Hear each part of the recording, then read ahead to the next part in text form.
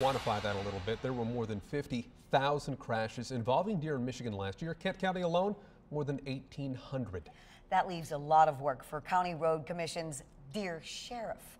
13 on your side, Zena DeSaro shows us what goes into this job, and we do want to warn you the graphic images you're about to see in this story. If you drive a car, ride the city bus, ride a bicycle, or even step outdoors, you've probably seen your fair share See that mass up there on the right? of roadkill. Eyes open and tongues out means he's dead. It's not only deer, Cow, llama, horse, turkeys, raccoons, bobcats, fox, possums, dogs, scat, uh, cats, and skunks. if you've ever reported a dead animal in the roadway, Where is it? chances are this man, the deer sheriff, I don't know whether to laugh or cry, but that's what they call me.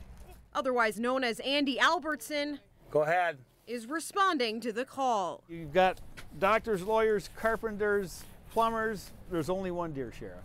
It's a strange way to make a living. Uh, it can be very satisfying at times, very gross at times. The most common animal he picks up? You guessed it, Does, bucks, big, small. the sight, That violent end down here. the smell. Summertime, it's unbearable. I can't. The truck, when I park it, it's got to be parked away from businesses. It's no doubt a dirty job.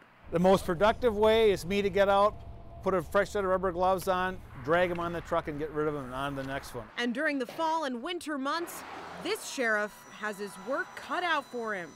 Literally. This big buck here, uh, by the time I got the call, by the time I got from here out to the airport, uh, his head was already gone. Talk about gross. I, I find that a touch barbaric. I'm not sure what the what the purpose is of an animal that's been hit by a car.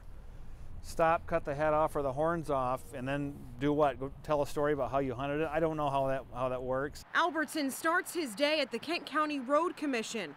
First thing on the list is responding to complaints that came in the night before. Right now, I just got a call from the office. We've got a dead animal partially blocking. picking up whatever else he finds along the way. They are everywhere. They're on state highways. They're on country roads. They're in neighborhoods. He started this job in 2005, disposing of nearly 33,000 animals since then. And I told the boss when I hit 50,000, I'm going to retire. I decided to help him reach his goal, Come on, deep breath. It's all right. albeit reluctantly. It won't bite. It's dead. That's one point for Nina Gross. and 32,322 points for the deer sheriff. In one day, I had 3,000 pounds in here. And that is a lot. I run out of room back there. They were falling off the sides. Where there's deer, See somebody got his horns? you can expect to find pieces of a car nearby. See the car parts in front? That's how you can tell. A different kind of hunting. Deer hunting road commission style. Not everyone Right, toss it up there. is cut out for. As I'm 53 years old, college degree, here I am in this uh, front seat of the deer wagon. Um, yeah, you have to laugh a little bit. Maybe God has me where he wants me, you know? Albertson works with several agencies across the city and county. All of the calls that come in about a dead animal in the road generally get funneled to him.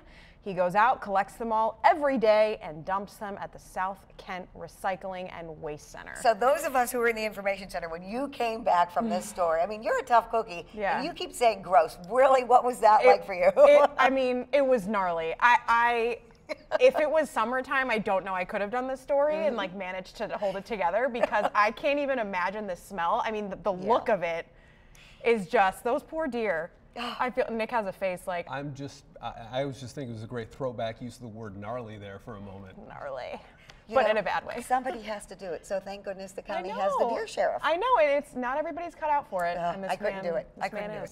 So. You are, though. You pulled it off. Nope. I'm good. Just one. Never again. That's Thank you. it. Thank you, Only Nina. you, Andy. Well, it was a one.